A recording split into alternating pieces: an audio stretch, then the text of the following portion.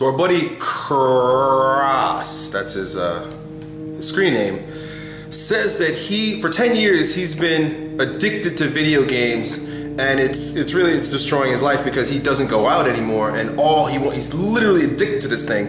He doesn't go out he's good at sports apparently he's gifted in, in playing football and he loves football but he won't even go do that anymore now this sound that might sound silly to some of you guys you know oh you fucking loser just turn off the video games and go outside and play it's easy to say shit like that it's easy to, to give advice and just be like hey just man up and go and do it but I, I totally get it dude I understand you're you're physically physiologically emotionally addicted to this shit.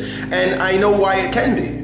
Because uh, you're literally living in an abstract world. You, all of your personal identification with the characters in the game tie you up with it. It's like you're living in the video game. I understand what happens, and I see a lot of people that happens to. That's why I rant on video games so often. Because I see a lot of my friends, I'm like, dude, your life sucks because you won't turn that fucking thing off.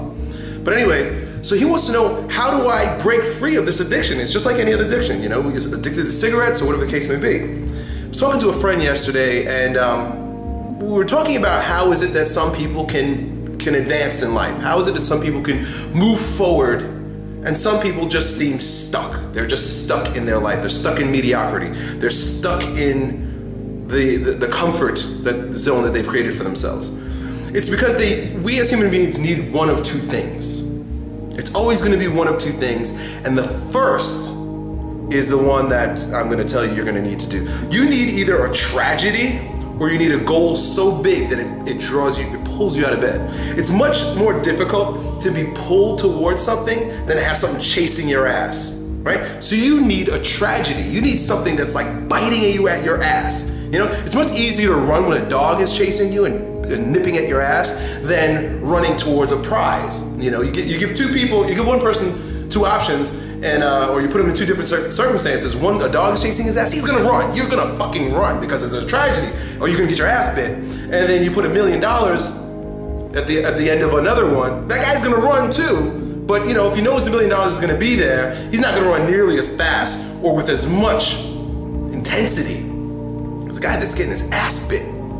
So you've got to create a situation, and I'm gonna tell you what to do. You know, it's to be the most irresponsible advice that you've ever heard me give, but it's the only one that's going to make you do what you have to do because I know that you can't reach. Otherwise, you would have reached. It's been 10 years. You're not go, you're not a goal person. And, and to be quite frankly, to be quite frank, it's difficult for even myself at times. If I don't have something nipping at my ass, you know, why go after something, right? You've got to really like brainwash yourself to do that. That's a different story.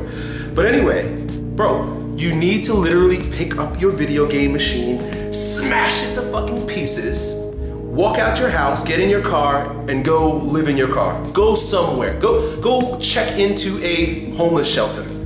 You need to shake up your life like it's never been shook up before. Go and, and, you know I'm being extreme here, but go live with your grandmother. Just just smash your video game machine, go live with your grandmother, and you have nothing now. Now you have no choice because you have no comfort and you have no stability and you have nothing but I gotta get off my ass. Going live with your grandmother is gonna be it's gonna be too easy. You really need to go where create a situation where you, you sink or swim and you'll learn how to swim.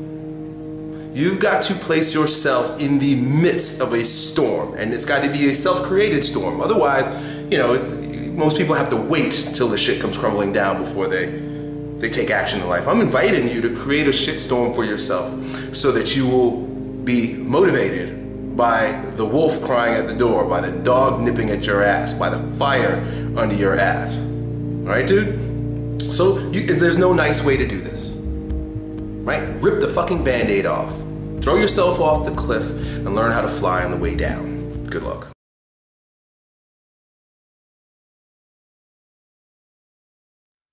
Do it! Just do it!